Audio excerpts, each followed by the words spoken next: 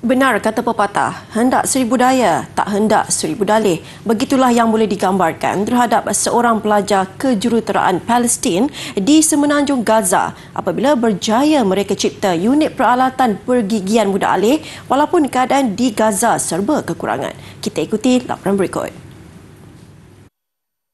seorang pelajar kejuruteraan Palestin di semenanjung Gaza telah mencipta unit pergigian muda alih dengan menggunakan bahan yang dikitar semula. Abdullah Al-Baba, 23 tahun berkata, idea tercetus apabila bapanya yang berkerusi roda mengalami sakit gigi dan bergelut untuk sampai ke klinik gigi yang berada di tingkat tiga.